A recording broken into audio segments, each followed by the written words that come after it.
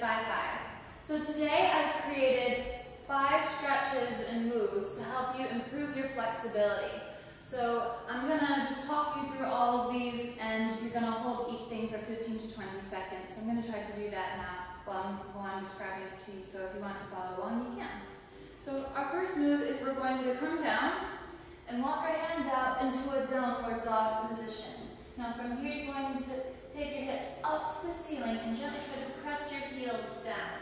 Now spread your fingers wide and draw your shoulder blades down and back, which means they're actually going towards your bum. Okay, so when I say down and back, it's kind of like because you're upside down, like you're going up. So hold that.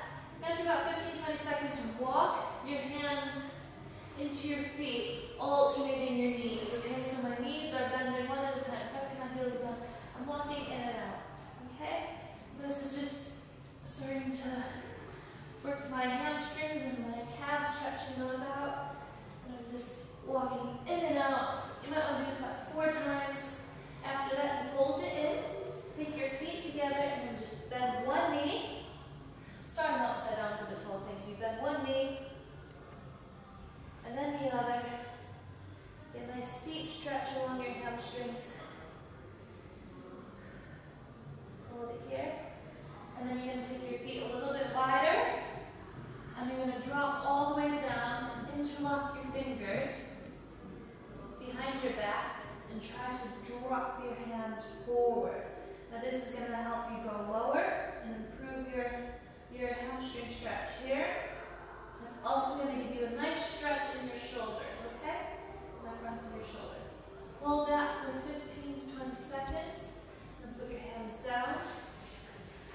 Move your feet in and just roll up slowly. Whew.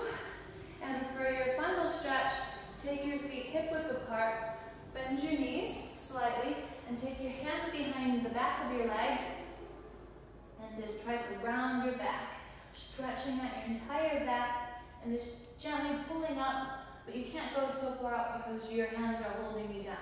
So just constantly be trying to stretch your back up the ceiling. Nice rounded position. And release. And roll up. So those are five great stretches to help improve your flexibility. And I'm Kristen, and that is your Fit by 5 stretch.